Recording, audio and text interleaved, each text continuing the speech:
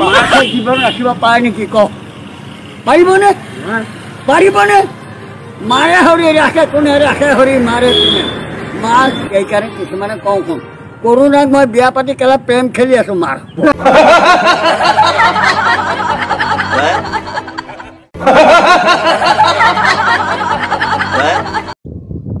এক আজি মোৰ ছাত্ৰ সন্থা আজি এইটো কি? কি পাৰ্টি?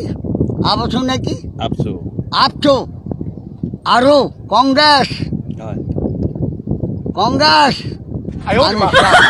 ভাই ভাই হয় হয় B P F B P F Bodo party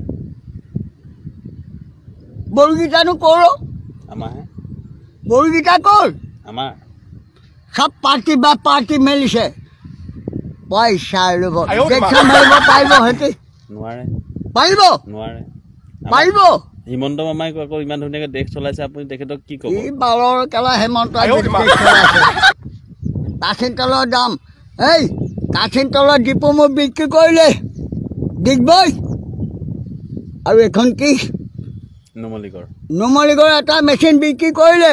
আমি অসম বিক্ৰী হৈছোঁ। বাহ কিয়? কিয়? এক লিটাৰ কাঠিন তেল কিনি পাইছনে?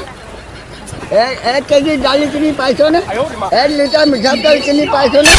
এক কেজি আলু কিনি পাইছনে? আহ মোৰ কংগ্ৰেছৰ দৈন্য তেনেকুৱা আছিলে নেকি? এই চাউল কোনে আনিলে? চাউল? তিনিটকীয়া চাউল। হা? আকৌ বিজেপি যে ফ্ৰীত চাউল দিছে। লেওৰা কেলা। দিছে. My city don't show me no loving, that's fine. My local radio stations, I got more plays than all of these rappers combined.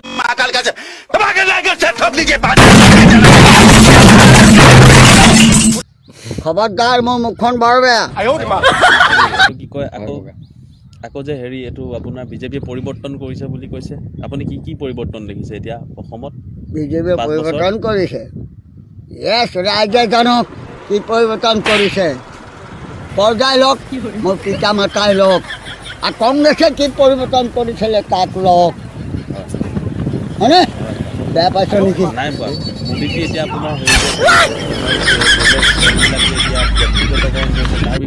ক'ব? তহঁতিহে জান অসম বিক্ৰী কৰিছে।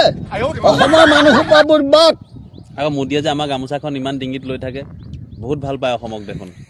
কি ক'ব সেইটো? ই ভাণ্ডকী মোদী গামোচা লোৱাটো আপুনি ভাণ্ডুকি ই বুলি- ভাণ্ডকী ইয়াৰ নিচিনা ভাণ্ডকী নাই? তাৰ পৰিয়াল নাই তাৰ গৃহ সংসাৰ নাই। কি বুজি পাব?